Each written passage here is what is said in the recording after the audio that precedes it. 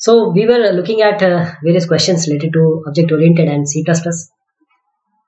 Next is uh, define a way other than using the keyword inline to make function inline. How can you do that? The function must be defined inside the class. If you define the function inside the class, you will not be uh, needing this inline. Okay. How can uh, this scope resolution? This is a scope resolution operator. Okay. So this scope resolution operator, how can this be used as a unary operator? The scope operator can be used to refer to members of the global namespace. Because the global namespace doesn't have a name, this notation, double colon, member name refers to the member of the global namespace. So this can be useful for referring the members of the global namespace whose name has been hidden by names declared in the nested local scope. So unless uh, we specify to the compiler in which namespace to search for a declaration, the compiler uh, simply search or compiler simple searches the uh, current scope and any scope in which the current scope is nested to find the declaration of the name. So now you understand why and how we can use scope operator as a unary operator to access the global member of the global namespace. What is a placement new? What is a placement new? Uh, when you want to call a constructor directly, you want to call a constructor directly, so uh, you can use the placement new. And uh, sometimes you have some raw memory that's already uh, been allocated. Okay? So when you have some raw memory that's already been allocated and you need to construct an object in the memory you have. So operator new special version place, placement new placement new will allow you to do it okay let me tell you again that when you want to call a constructor directly we use this placement new so this is an example. We have a class. In this, you see, we have uh, two constructor widget. Uh, this is a constructor, sorry, and this is a construct widget in buffer, which takes some some uh, parameters and it returns new buffer size widget. It is returning what? This only. So this function returns a pointer, a pointer to a widget object that's constructed within the buffer passed, buffer passed to the function. So such a function might be useful for applications using say shared memory or memory map input output because the objects in such applications must be placed at specific address or in memory allocated by special routines. Here we use the placement new. See we have used this new. Okay. What do you mean by analysis and design? Analysis and design. There are two things. Analysis means analyzing. Designing means choosing or adopting. So analysis is the process of determining what needs to be done, what needs to be done before how it's, it is to be done. So what needs to be done? Analysis before how it is done. So in order to accomplish this, the developer refers to the existing system and document. So simply it's an art of discovery. So you analyze. Analysis is done. While designing, it is the process of adopting or choosing the one among the many which best accomplishes the user need. So it's uh, it's kind of compromising mechanism you can say. What are the steps involved in designing? Before getting into the design, the designer should go through the SRS prepared by the system analyst. The main tasks of design are you know architecture design and then the detail design. In the architectural design, we find what are the main modules in the problem domain and in the detailed design we find what should be done within each module which has been defined in the architectural design. What are the main underlying concepts of object orientation? First of all the objects, object orientation, messages, class, inheritance and polymorphism. These are the main concepts of object orientation. What do you mean by SBI of an object? SBI. SBI is state, behavior and identity SBI stands for state, behavior, and identity. And since every object has these three, state, it is just a value to the attribute of an object at a particular time. Behavior means it describes the actions and the reactions of that object.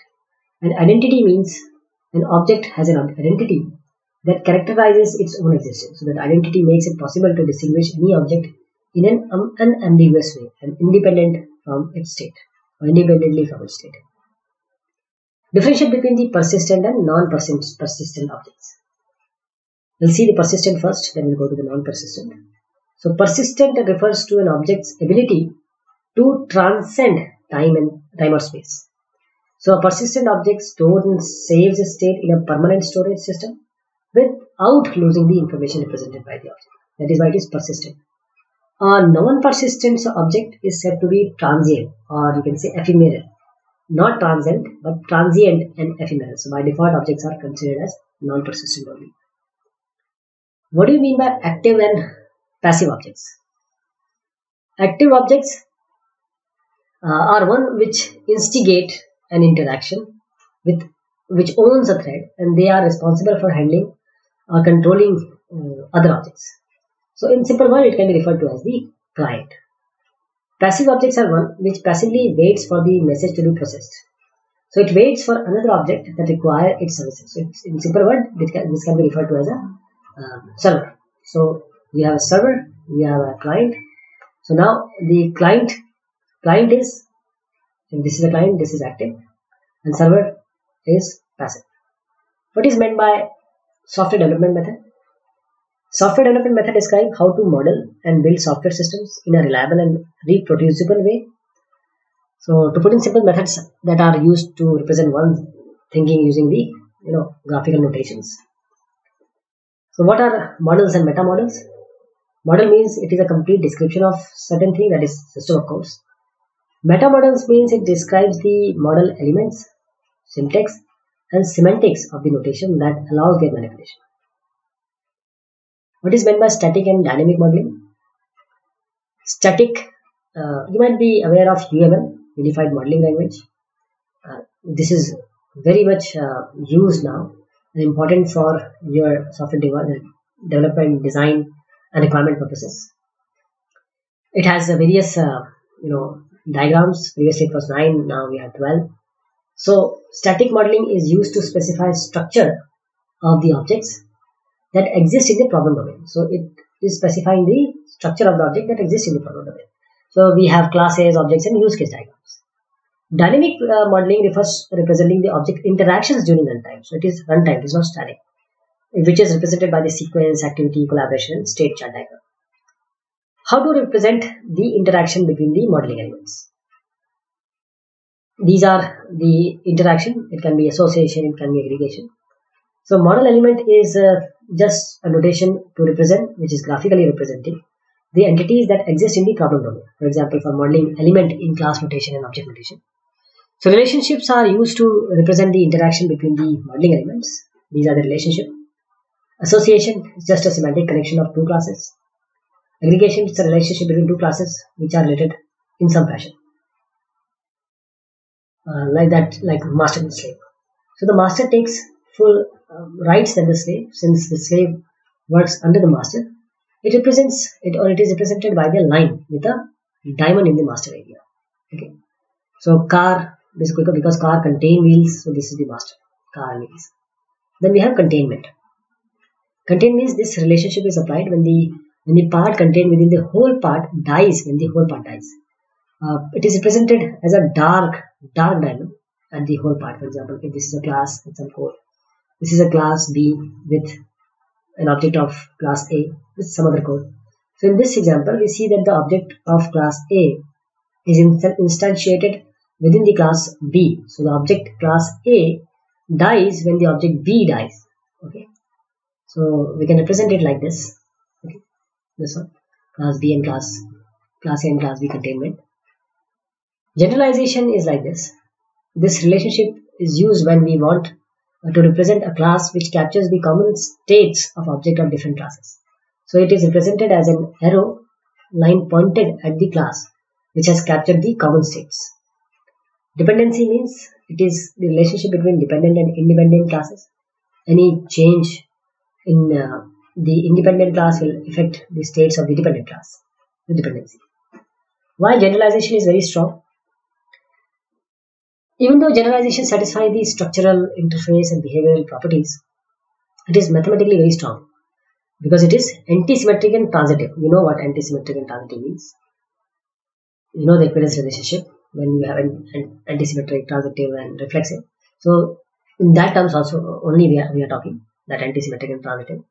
Antisymmetric uh, means uh, employee, if employee is a person, but not all persons are employed. Mathematically, all A's are B, but all B's are not A. And what about transitive?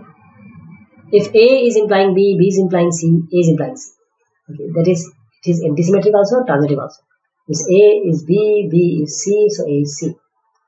Like uh, salesman, employee, and person. So all the other relationships satisfy, satisfy all the properties like structural properties, interface properties, behavior properties. Differentiate aggregation and containment. Aggregation is the relationship between whole and a part. So we can add or subtract some properties in the part that is the slave side. It won't affect the whole part. Best example you can have is a car. It contains the wheels and some, extra parts. So even though the part are not there, we can still call it a car. But in the case of containment, the whole part is affected when the part within that got affected. Let us take a human body. Human body is an example for relationship. If you don't have a heart, or if your heart is taken out or not in containment, you will be you will not be able to survive. Next is can link and association applied interchangeably? Can link and association applied interchangeably? No. Link and association cannot be applied interchangeably. You cannot apply the link and association interchangeably since link is used to represent the relationship between two objects. Okay. But association is used to represent the relationship between two classes. Relationship between two objects, relationship between two classes. Okay. So this is how it is related. What is meant by method wars? Method wars. Uh, before 1994, there were different methodologies like uh, Rumbaugh, Booch, Jacobson, Meyer, who followed their own notation to model the system. That is why we have now have a unified modeling language. There were modeling language, but there was different modeling language for they have devised different modeling language. There was not unified modeling language. So the developers were in dilemma to choose the methods which best accomplish their need. This particular span was actually called as method wars.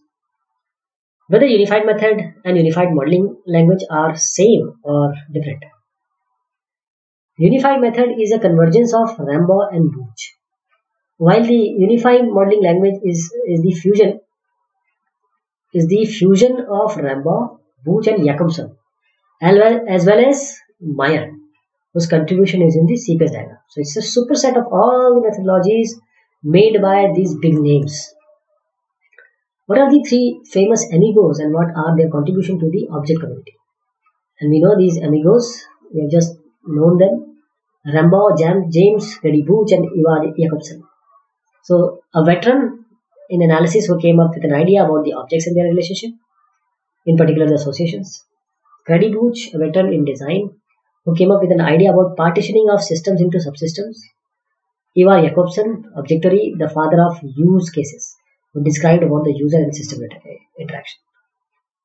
What is an actor? An actor or an actor is someone or something that must interact with the system. Interact with the system.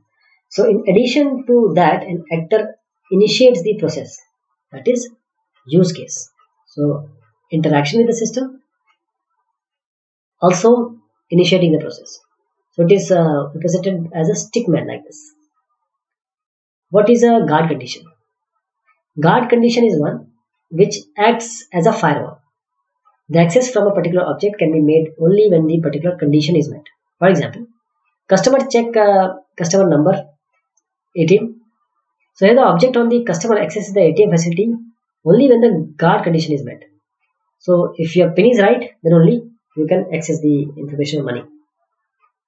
Suppose a class acts an actor in the problem domain. How to represent it in the static model?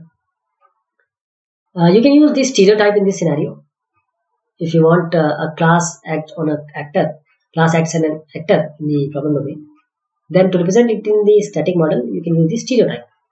Since stereotype is just a string that gives extra semantic to the particular entity model element, it is given like this. You know, angle brackets on both the side. Class A, the actor attribute methods. Why does the function arguments are called as signatures? Function arguments are called as signatures.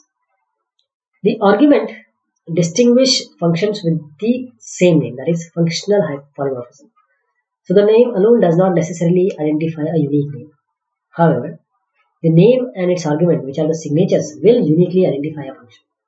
So in real real uh, life, if we suppose uh, in class there are two guys with the same name, then they can easily identify by their signature. And the same con- concept apply here also. For example, a curs- person, we have a you know uh, function. There are see, three functions.